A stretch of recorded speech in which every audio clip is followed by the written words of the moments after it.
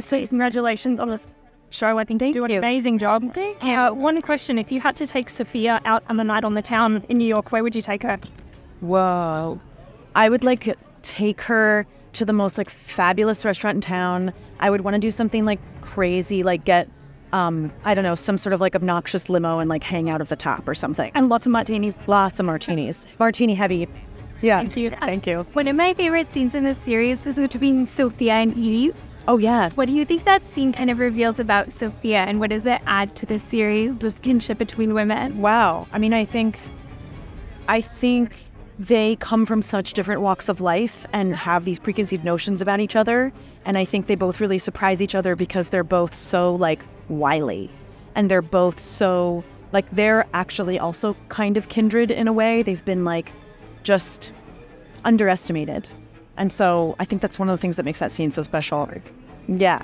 Thank you. Um, I love how that we continue to Italian code the penguin. Oh, yeah. I do think that uh, if anyone was going to survive in The Sopranos, it would be Sofia. For you, when you are playing, you know, this Italian mob boss kind of Yeah. coming into her own, what was the most exciting part of getting to set that in Gotham? Oh my God, because I'm just like such a huge fan of this universe. You know, I'm also a Batman fan, so that was the most extraordinary part. Like it's it's already very fun to play a mafia boss, but it sort of is like ratcheted up a level when it's like with within Gotham, you know?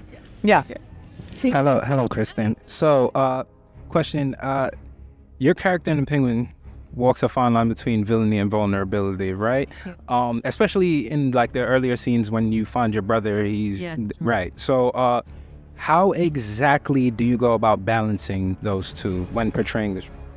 Um, I mean, that's something that we sort of find as we go, and um, there's so much to like mine in the script, which was is so brilliant. And you just kind of, I mean, I definitely have my own thoughts and feelings about it, but then like the more you're together as a cast, like you learn more and you explore more. So it's kind of like an ongoing process.